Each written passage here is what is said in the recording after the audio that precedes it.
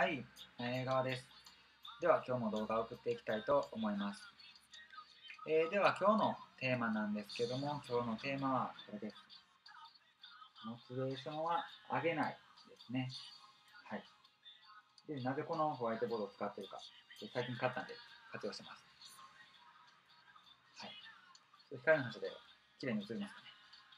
はい。ということで、えー、モチベーションを上げない、えー、どういうことかなんですけども、モチベーションっていうのは、えー、上げるもんではないんですね。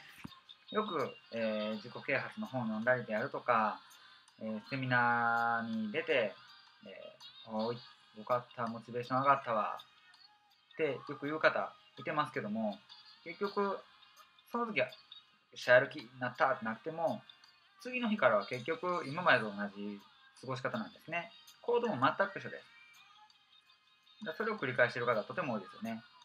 何度もそうやって自己啓発のセミナー行ったり、教材読んだりとかして、その時とてもやる気になってるけども、結局何もやることは変わってない。なんで、モチベーション、モチベーションは別に上げなくていいです。はい。で、モチベーションっていうのは、上げるものではなくて、勝手に上がるものなんですね。あなたの治療院の予約が、もしパンパンになったらどうですか？モチベーション勝手に上がりますよね。嫌でも上がるんですね。役所が満帆になれば。だってやるしかないんですからね。やる気になるしかないです。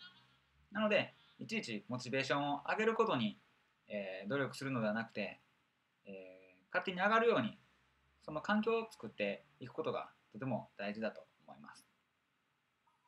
なので、役をパンパンにしてください。